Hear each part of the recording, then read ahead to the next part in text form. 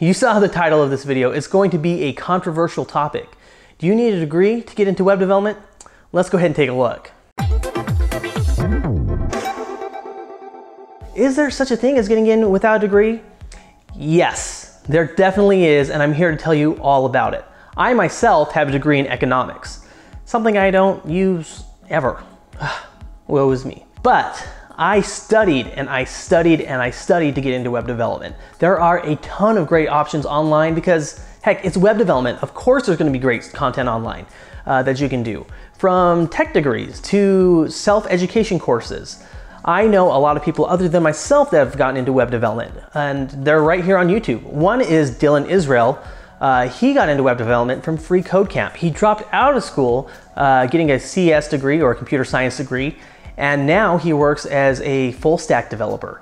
I'm actually in my second job in uh, web development, web production, that area, and it's been all through online. Now, with that said, is it easy? Heck no. Is it going to be easier with a computer science degree? Probably, but not necessarily. I would say if you can, especially if you're not paying for it yourself, get a computer science degree. Not a web development degree, not a web design degree, get a computer science degree if you can. That's going to give you a foundation and build upon your skills uh, while you're going to school or outside of school. That's going to be the easiest. A computer science degree doesn't expire and it's there and it's uh, sealed, you know, approval from a accredited university. But that's not going to be enough most of the time to get you into these positions. Maybe if you get recruited from a college, maybe, and all you need is your computer science degree. But in most cases, you're going to have to go above and beyond, uh, regardless of whether you went to school or not, and learn a ton on your own. So if you don't have a degree, uh, you're gonna have to work a lot harder. You're gonna have to have something out there like a personal brand, like what I have. Uh, maybe do some vlogging or blogging uh, LinkedIn articles are great. So you have a track record of everything that you've done. So a recruiter can go through, a hiring manager can go through and see that you've been doing this for a while and you really have been dedicated and you know your stuff. On top of that, of course, you have to have working projects. Now, if you do all that, are you gonna get a job right away? Mm, maybe, maybe not. Probably not. And it really depends on your area.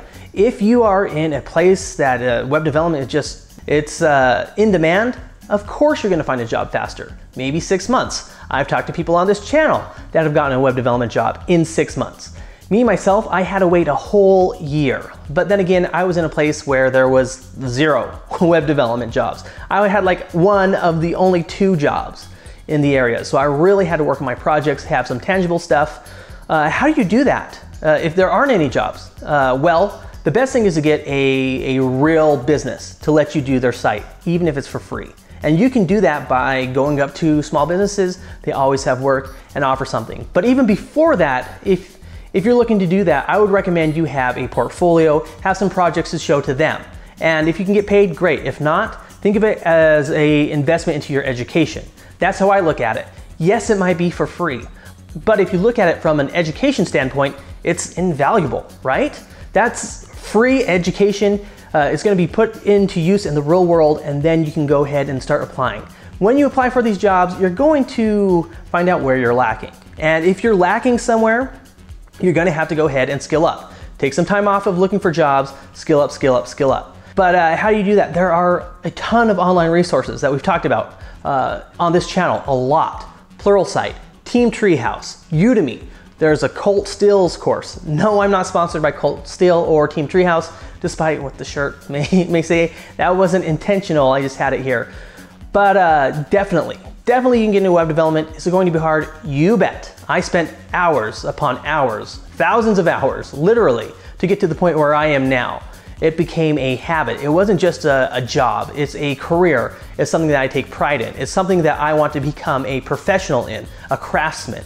So I spend a ton of time, even now that I've made it, improving my craft. And if you don't want to do that, you're not going to be able to get these nicer jobs.